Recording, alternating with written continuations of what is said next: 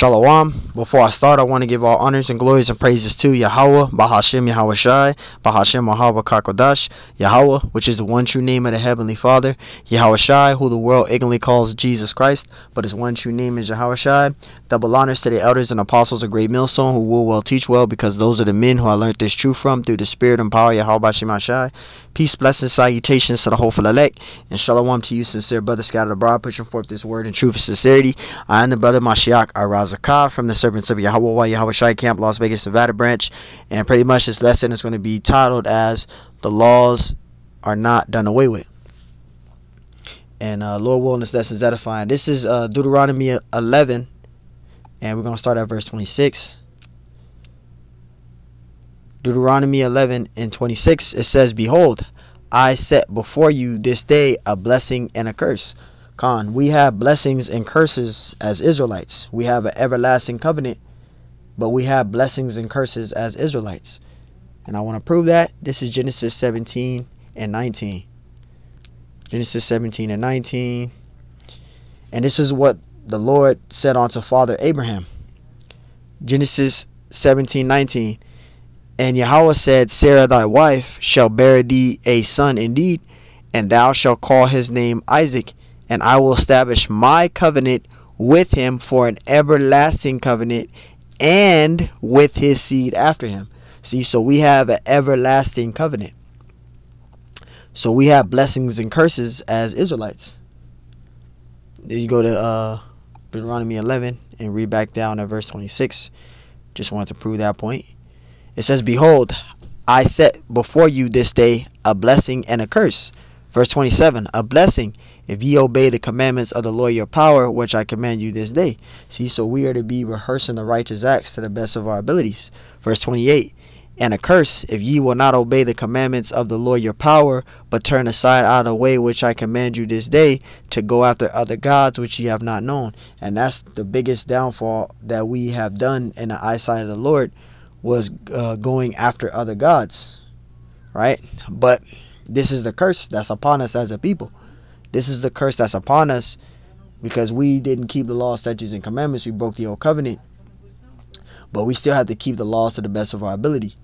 Let's read again, verse 28. And a curse, if ye will not obey the commandments of the Lord your power, but turn aside out of the way which I command you this day to go after other gods which ye have not known. And that's the condition of our people. That's that curse.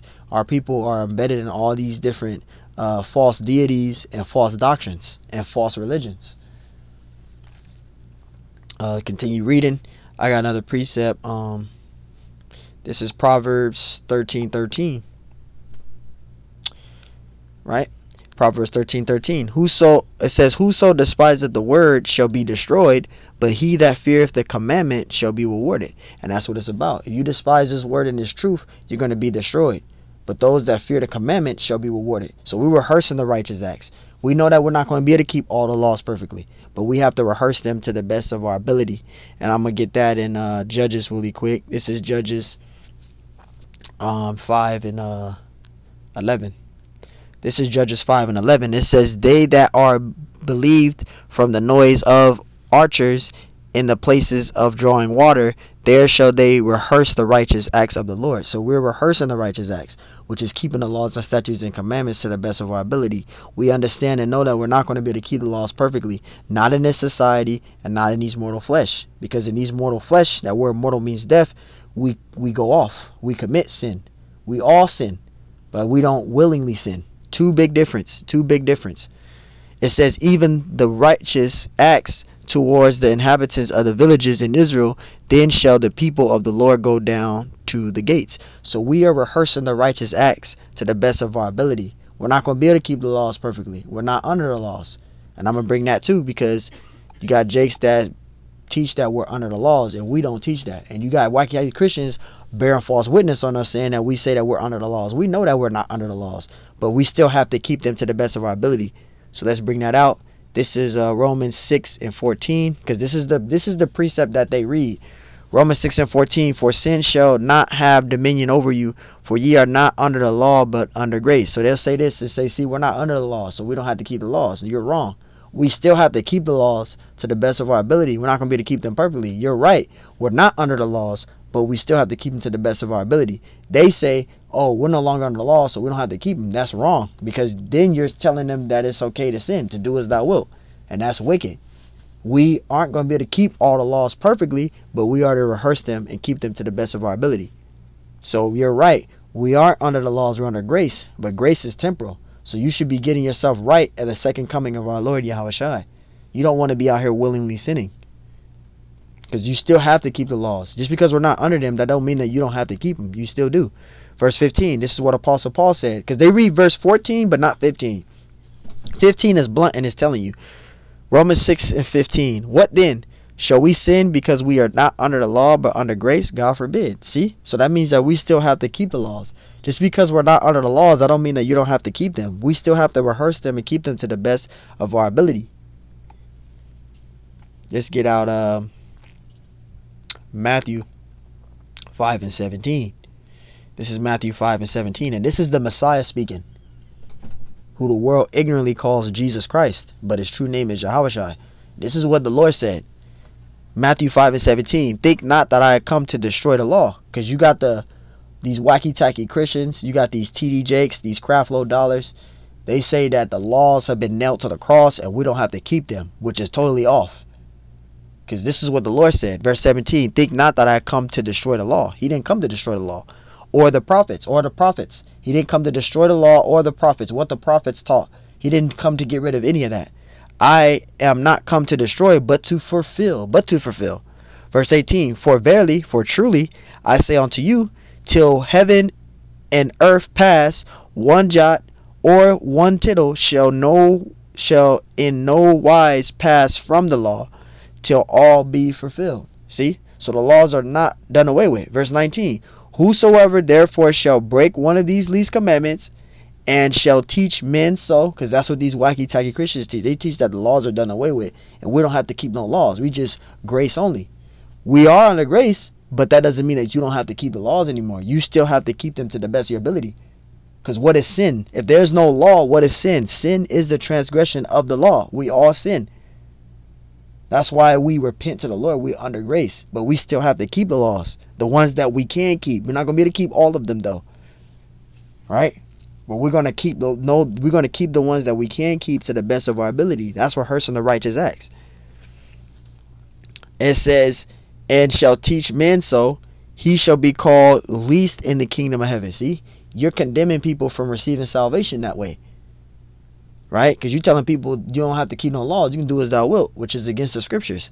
It says, "But whosoever shall do and teach them, the prophets, the men of the Lord." the elders and apostles of Great Millstone, on down to the sincere brothers like myself. We're telling our people to rehearse the righteous acts, keep the laws to the best of your ability. You're not going to be able to keep them perfectly. And not, when we say we're not, you're not going to be able to keep them perfectly, we're not telling you to willingly sin. That's not what we're saying. We're telling you to rehearse the righteous acts, the ones that you can keep, keeping the Sabbath days, keeping the high holy days to the best of your ability, right? Repenting, withdrawing, you know, keeping the dietary law, withdrawing from eating the unclean animals. You know, those are the laws that you can keep you are to keep those.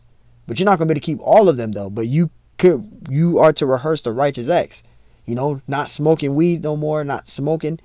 You know, not um, you know, being uh, being uh, wicked. You know, getting getting lineups, line up your beard, line up your hairline. That's a law. The law said not to round the corners of your head, nor to, nor your beard, not to mar on your beard. That word mar means to corrupt or to destroy. So you're not supposed to do that. That's what hurting the right. Those that's rehearsing the righteous righteous acts. Not getting tattoos. That's where that's rehearsing the righteous acts. So I'm just giving you examples. You're not going to be able to keep all the laws perfectly, but the laws that you can keep, you are to keep to the best of your ability. We're all going to go off, but the main thing is repenting, though. Not willingly sin. Big difference. It says, But whosoever shall do and teach them, the same shall be called great in the kingdom of heaven. So there you go. The laws are not done away with. We still have to keep the laws to the best of our ability. First John 3 and 4. Whosoever committed sin transgress also the law. See? So sin is the transgression of the law. So how is the laws done away with? That don't make no sense. It says, For sin is the transgression of the law. See?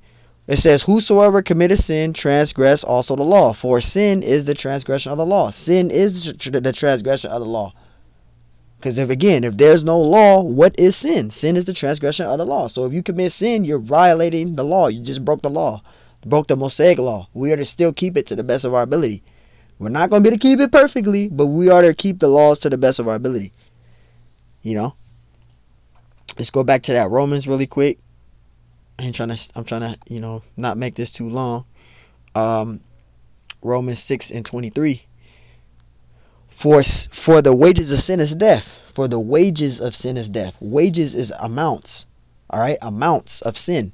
For wages of sin, it says, for the wages of sin is death, but the gift of Yahweh is eternal life through Hamashiach, Hamashiach, Yahweh Shai, our Lord. See? So again, for again, it says, for the wages of sin is death. The wages of sin is death. That's why you want to repent. That's why we're, you know, while we're in this grace period, you're to be repenting. This is uh First John 5 and I start at verse 2. It says, By this we know that we love the children of Yahweh when we love Yahweh and keep his commandments. See, so we're to rehearse the righteous acts, keeping the commandments. Verse 3 For this is the love of Yahweh. Because everybody say, Oh, I love I love the Heavenly Father and I love the Messiah. I love the Heavenly Father and I love the Messiah. Well, if you love him, you would do this. For this is the love of Yahweh Bashim Shai, that we keep his commandments, and his commandments are not grievous. It's not a burden. Right? So you are to rehearse the righteous acts. You are to keep them to the best of your ability. We're not going to be able to keep them perfectly. We know that. But we still have to rehearse the righteous acts, though. Let's get out that John 14. This is John 14 and uh, verse 15. It says, if and this is Yahweh Shai speaking, the Messiah. If ye love me, this is what he said unto the disciples, the apostles. If ye love me, keep my commandments. See, so you are to keep the commandments to the best of your ability. You're not going to be able to keep them perfectly, but you're to keep them to the best of your ability. Second John 1 and 4 I rejoice greatly that I found of thy children walking in truth as we have received a commandment from the Father. Verse 5 And now I beseech thee, lady, not as though I write a new commandment unto thee, but that which we had from the beginning. What was it that we had from the beginning? The Mosaic law. That was given to us from the beginning. That we love one another Verse 16, and this is love that we walk after his commandments. See, that's to that's how you show the Lord, the Heavenly Father, and His only begotten Son that you love Him is by keeping the laws, statutes, and commandments, rehearsing the righteous acts, keeping them to the best of your ability. You ain't gonna be able to keep them perfectly. It says, "This is the commandment that as ye have heard from the beginning, ye shall walk in it." So there you go. We are to keep the laws, statutes, and commandments to the best of our ability. We're not going to be able to keep them perfectly. This is Proverbs 14 and 12. And we'll end it with this. We'll wrap it up with this. Revelation 14 and 12. Here is the patience of the saints. Who are the saints? The Israelites. Let's prove that. This is uh, Psalms 148 and I believe it's 14. Psalms 148 and 14. It says, He also exalted the horn of his people, the praise of his saints who are the Israelites, even even of the children of Israel. See? His saints are the Israelites.